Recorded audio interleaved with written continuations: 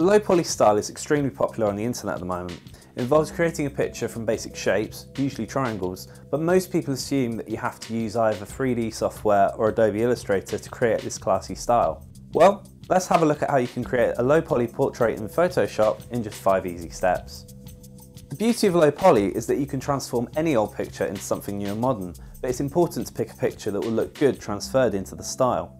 Once you've picked your picture and made some preliminary adjustments, perhaps using Camera Raw, grab the polygonal lasso.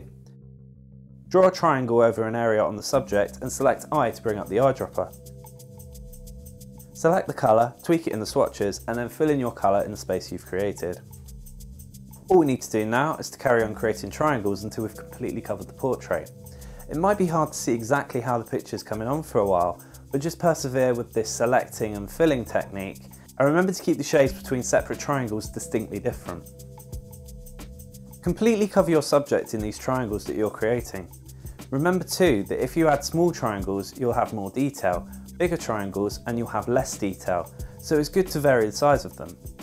If you need a little help or fancy a quick shortcut, duplicate your layer and use the cutout filter.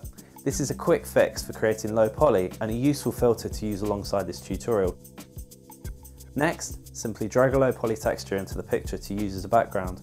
Again, follow the link below to download a set of free textures from the FileSilo. Finally, add a texture. You might not feel like you want to add one, but it can really bring out the picture if you insert a paper texture over the entire image. Set your layer to overlay or linear light and the texture will be filtered over the project as a whole. There are some great textures available from Media Militia, such as the wallpaper texture that we've used here, so check them out using the link below. We're going to use vibrance and curves to complete this image, and you may also wish to use a gradient map if you're looking to add colour to an image depending on the tone. Remember to group all of your low poly layers and clip the adjustments.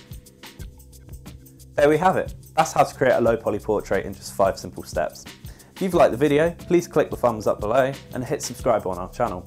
Follow us on Twitter too, at PShopCreative, and until next time, thanks for watching.